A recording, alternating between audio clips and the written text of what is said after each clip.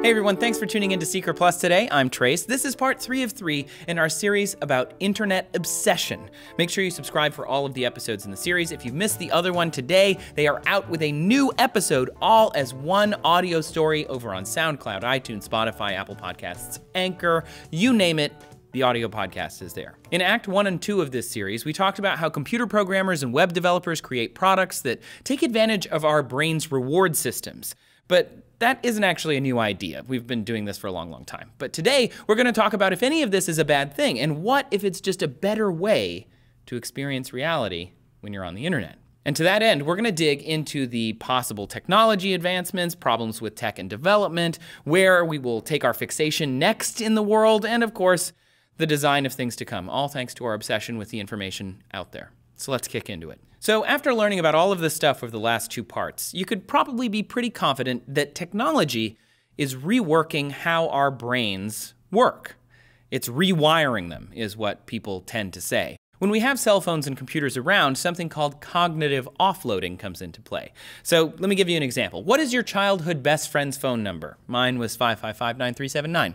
I know that's a fake phone number, but I'm not going to let you call Pat and Mike. Brian doesn't even live there anymore. I know so many phone numbers because I had to remember them. How many today do kids know? Do you know any phone numbers at all? That's cognitive offloading.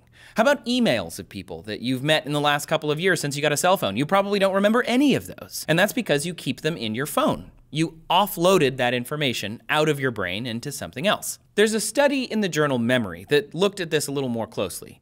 They gave people trivia questions and then they either allowed them to use Google or didn't to answer the trivia questions. Those who were allowed to use the search engine were reliant on it. They answered that question, and then they were more likely to answer subsequent questions, even if those questions were easier. However, if people didn't use the search engine at all, they were more likely to rely on their own memory at the first question and also think about the second phase of questions before they would reach for their smartphone to try and answer it. Memory reliant participants were also quicker at answering trivia questions overall, which means the internet doesn't actually make you faster. It's the other way around. There's a really good write up on Big Think about this as well. This is changing how our brains interpret the world. For example, if you only lived in a bunker with a small population, you'd not really know what to do if you were dropped in Times Square. And this translates from the digital to the real world in interaction as well. Think about technology and how it's changed how we interact, right? We're connected, but we're not conversing. Some students don't even know how to have a conversation because they've never lived without a cell phone that they can text each other. We're together, but apart, is how it's often referred to. Sure, you're on Facebook and you're looking at baby pictures of your friend or your cousin or whatever. And now the baby isn't a baby anymore, it's a small child. And you're like, wow, I've watched it grow up. But have you ever talked to it? Have you ever talked with the person whose baby it is? Have you ever seen it in person? Would the baby know you if you met it? Sure, you know its life, you know its personality, but do you really know it? A conversation could change all of that, but we don't have a lot of conversations the way we used to. Plus, we could have a problem with empathy. Empathy is the ability to understand and share feelings of another. It's different from sympathy. Sympathy is more like pity and sorrow. Empathy is I'm in your shoes, right? Riane Eisler at the Center for Partnership Studies said that we are restricting empathy only for those who are, quote, like minded. And that's new. We can train people to be empathetic, but we need to know to try and train them. We need to assume that the reality that we live in now is using phones and the internet all the time. It's the information obsession that we wanted and that we asked for, and now we have it. But it's changing fast, and there are no real answers. But if we pretend like someday we're going to go back to the past, we're never going to do this right. So, with that in mind, I say let's choose to embrace it. And moving forward into the future, what can we use this for?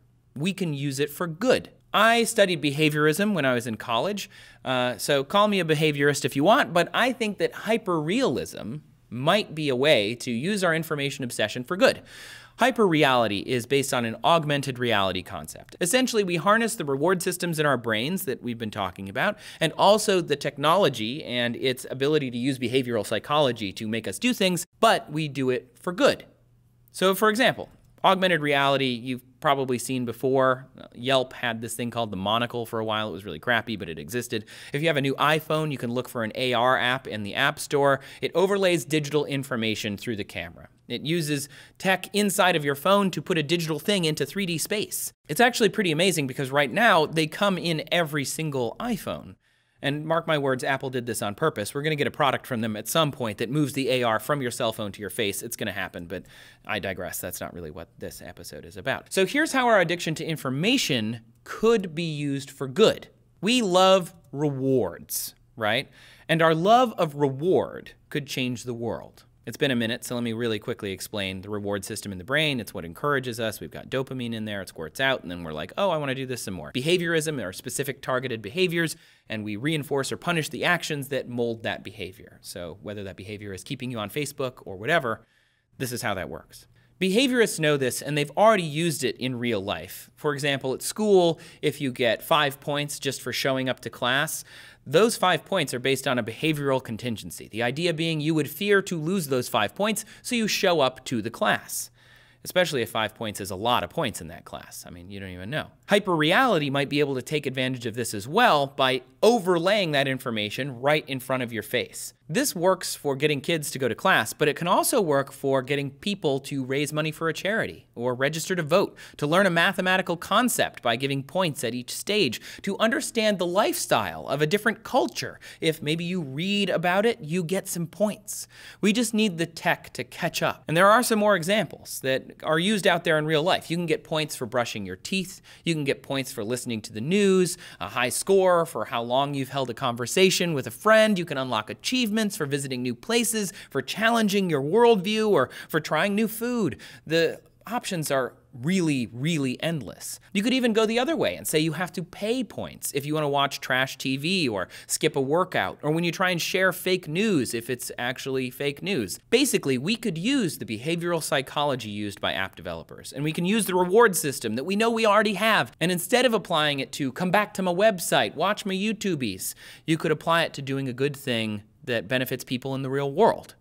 But of course, there's still a problem here, and that is addiction to the internet. What if back in the 17 and 1800s they were right about books? That they were right about how we were exaggerating the world 10 times more than reality, making the world seem somehow lesser. It's one thing if we do that on the page, it's another thing if we do it in front of our eyes all day, every day. I guess I'll just have to go see Ready Player One, but whatever. What if the digital world becomes better than the not digital world? What happens then? There's no real way to answer this, so if you have opinions and thoughts, you can tweet at us at Seeker. But in some ways, there are kind of glimpses into this. Reality is messy, and you can't just control everything. But since digital is somewhat better than real, that's why a lot of people prefer text message conversations, right? If I can send you five words without worrying about micro expressions or whether I'm sweating, and, you know, accidental spits or stutters or bad hair days or whatever it is, I can just give you the information that I want to give you and I get no immediate rejection as well. I can just talk to you and I don't have to worry about all of this messy reality. Virtual reality could be that same thing. What if it just becomes reality? I mean, you could argue that reading is better than not reading. Having a radio is better than not having a radio. Having TV is debatedly better than not having TV. The internet is debatedly better than not having the internet. I mean, I wouldn't have a job without the internet and TV, but that's, you know, just me being full disclosure. Having virtual reality could arguably be better than having regular reality. The lovely thing about this is that there is no answer. We're experiencing this now. This is the life we live. This is where scientists are trying to find answers to these questions about technologies and our brains and all sorts of stuff. We just live here. Evolutionary neurobiologist Leah Krubitzer told New Scientist, quote, I can tell you for sure that technology is changing our brains. But so far, no one knows what those changes mean. What if this is just reading mania, but on a crazy advanced scale? Wouldn't that be awesome, but also terrifying? Of course it would be. But again, nobody knows the answer to these questions. Let me end on this. Jules Verne once wrote, quote, Science, my lad, is made up of mistakes. But they are mistakes which it is useful to make because they may lead little by little to the truth. My hope is that we realize that by knowing we have internet obsession and by knowing that we have this reward system in our brains, we have a power and we can make rules so that we don't do harm, but we help. Our information obsession isn't going away. I have it. My family has it. My sister has that's a Star Wars thing. I don't actually have a sister. Anyway, it's everywhere. Information obsession is in everything. And what happens when it merges with our reality? Like, really, what happens? Nobody knows, but it could change the world. And it will. Again. Thanks so much for watching Seeker Plus. I and we really appreciate it. Come say hi on Twitter, Facebook, YouTube, Instagram, you name it. I'm there. Look for Trace Dominguez. We are there. Look for Seeker. There's a new podcast episode every week on Spotify, SoundCloud, iTunes, you name it. It's independent of the video episodes, and they are new every Thursday. Check out this video for more science, and thanks for watching Seeker.